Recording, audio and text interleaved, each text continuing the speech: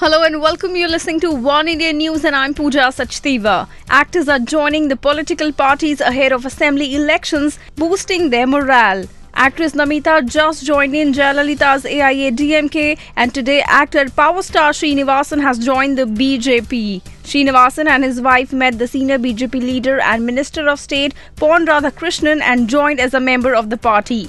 It is expected that the popular comedian will campaign for BJP in the upcoming elections. Srinivasan started off as a medical practitioner before turning towards financial consultancy and films. BJP has been trying to rope in Tamil film industry personalities to add some glamour to its poll campaign to draw crowds. Actor turned politician Napoleon joined BJP in November last year and was subsequently elevated as one of the vice presidents of the party.